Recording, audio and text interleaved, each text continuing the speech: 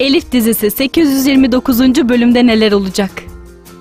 Tufan Emirhan'a gerçeği açıkladı mı? Onun babası olduğunu söyledi mi sizce?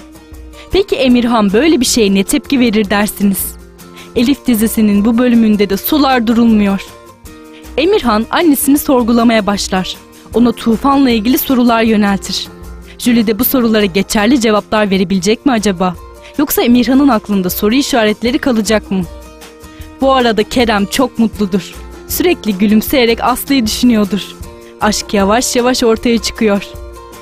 Elif de annesinin ve Hümeyra'nın hazırladığı elbiseyi çok merak ediyordur. Defilede giyeceği elbiseyi görmek için odaya gider. Elif elbisesini çok beğenir ve evdekilere gösterir. Herkes oradadır.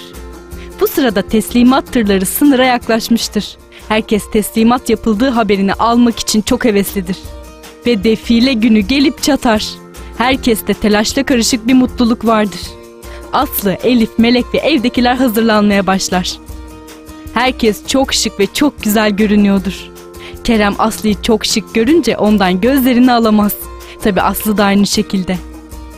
Hümeyra da çok güzel olmuştur. Levent onu görünce şok olur ve afallamaya başlar. Hümeyra'nın bu durum oldukça hoşuna gider. Belli etmese de, farkında olmasa da belki de o da Levent'e karşı boş değildir. Tüm aile toplanır ve hep birlikte defile yapılacak mekana doğru yola çıkarlar. Herkesin mutluluğu gözlerinden okunuyordur. Sevkiyatın gerçekleşmesi için kamyon yola çıkmıştır. Polisler yolda kamyonu durdurur ve malların içine bakmak isterler. Polisler ilaçları bulunca Kerem ne yapacak sizce? Başının çok fena belaya gireceği kesin. Polisler mekana gelir ve Kerem'i alıp götürürler. Kerem bu işin içinden nasıl sıyrılacak? Dizinin tüm bölümlerini izledi.com'dan izleyebilirsiniz. Bu heyecanlı bölümü sakın kaçırmayın.